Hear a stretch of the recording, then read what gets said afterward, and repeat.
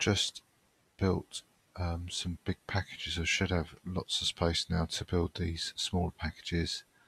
And what I thought I'd do, things I've just um, built Firefox in the previous video, is to build the other two browsers that are in the BLFS book, which is which are Epiphany and SeaMonkey.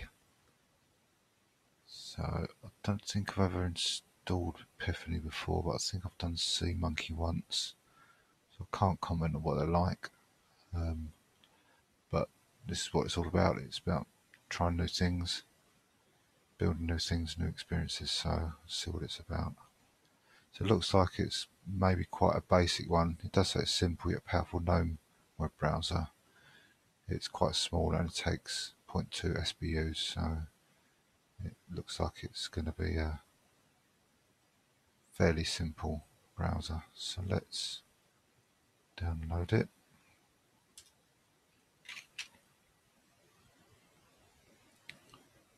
And we've got one recommended dependency.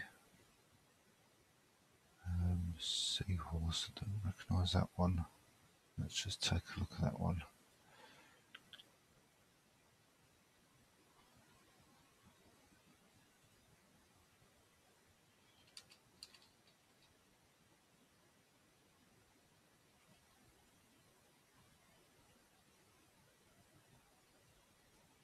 Looks like we haven't got that one.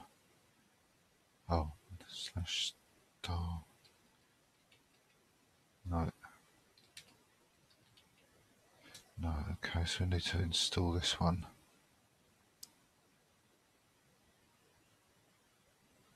PW quality. Yeah, got that one. Libcip on kit, evidence search. Yeah, I think got the rest of them. So let's install this one first. Uh, let's check got GNOME keyring. No, it doesn't look like we've got that one either.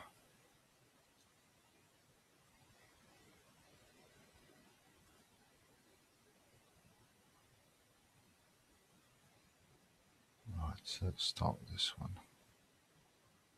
Um, actually, no. Oh, I know. It's because it's in the GNOME directory, right? So, that's GNOME. So GNOME keyring is there, and Seahorse is there. Right, okay, that's good. I did wonder why the links have been changed. So we can install Epiphany straight away then. Oh, uh, just got libdazzle. Sorry, we need to install looks like we've got lib handy already.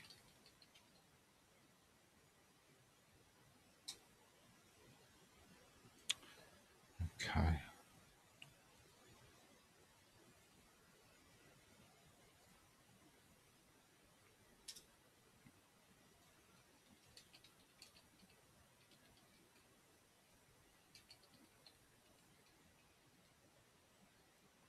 So this looks like it's simple enough.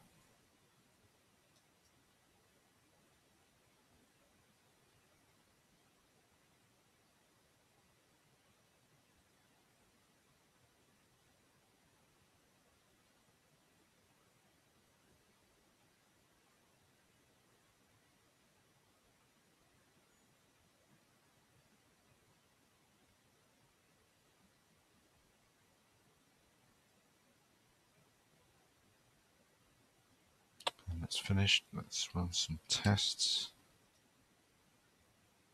That's okay. It says two tests may fail, so we're lucky we haven't had those failures. So let's do ninja install.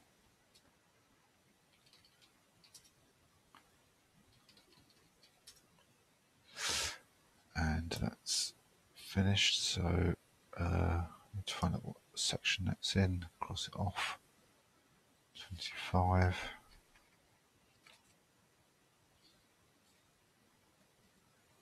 Dazzle.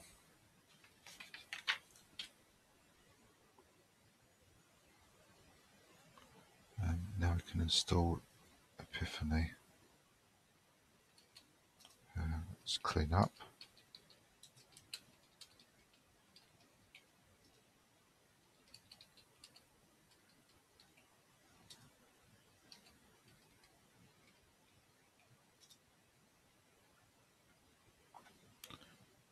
Looks like it's uh, usual commands for a GNOME application.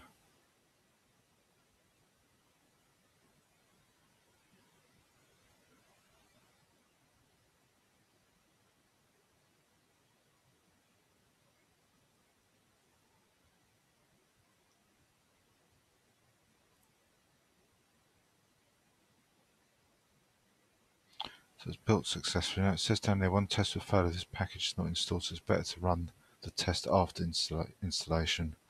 Well, why not run it now just to make sure that the package isn't terminally broken.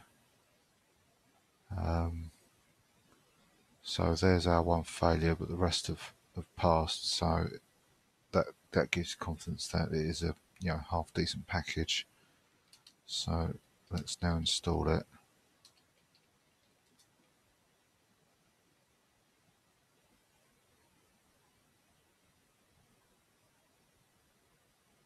And in theory, from what it says there, if we rerun the test, it should be a complete pass, which it is. So that's good.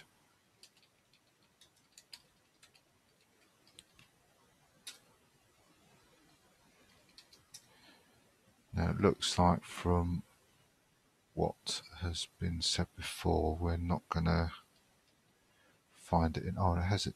Oh, right. Okay. So some of these scripts, these programs may obviously be able to insert the appropriate menu um, commands to work in KDE. So this one has done that. Um, okay, yeah, this does look quite basic, and it does look like a GNOME application as well, judging by the title bar. So let's go to from scratch again. Yeah, that seems to look fine. Yeah. And can we open a new tab? So bookmark, yeah. So it doesn't look like it's a tabbed browser. Oh, hang on, what's this here? Oh yes it is, there you go. Most visited, let's try an HTTPS website.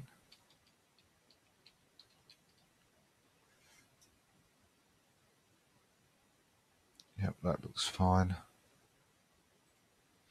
Let's look at the news and it's crashed. So that's not a good start.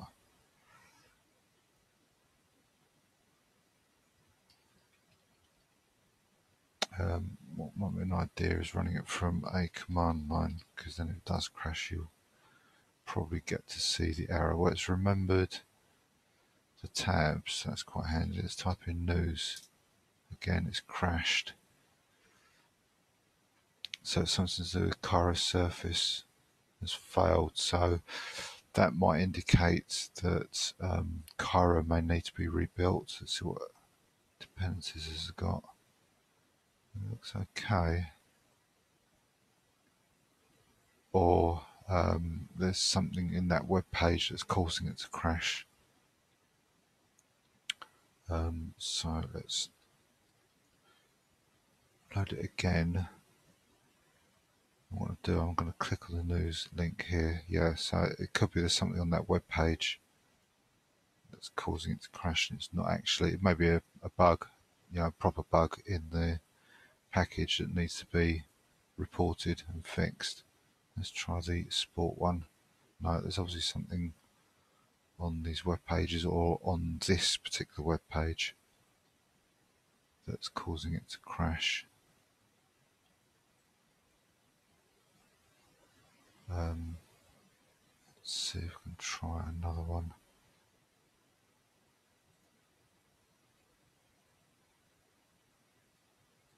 Let's try going to BBC News, uh, uk forward slash news directly.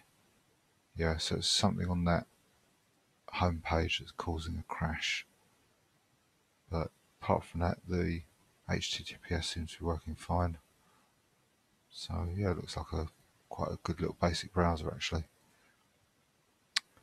Okay, so that's Epiphany. Let's close that down.